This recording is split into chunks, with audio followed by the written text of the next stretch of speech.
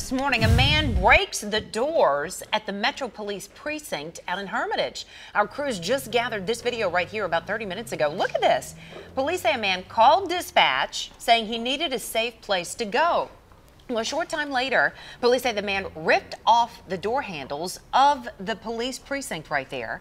Police say he used the handles to then break the glass in the doors and get inside. Police tell us the man was not hurt. What a bizarre story. We'll continue to follow this and bring you the latest.